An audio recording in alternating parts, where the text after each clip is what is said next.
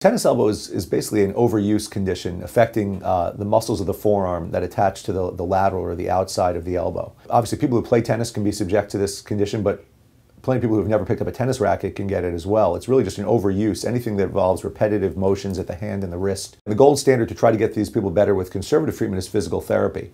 Of the 10% of the people that don't get better with conservative treatment that require surgery, another 90 to 95% of them will get back, you know, kind of have good to excellent results where they're doing everything they like to do.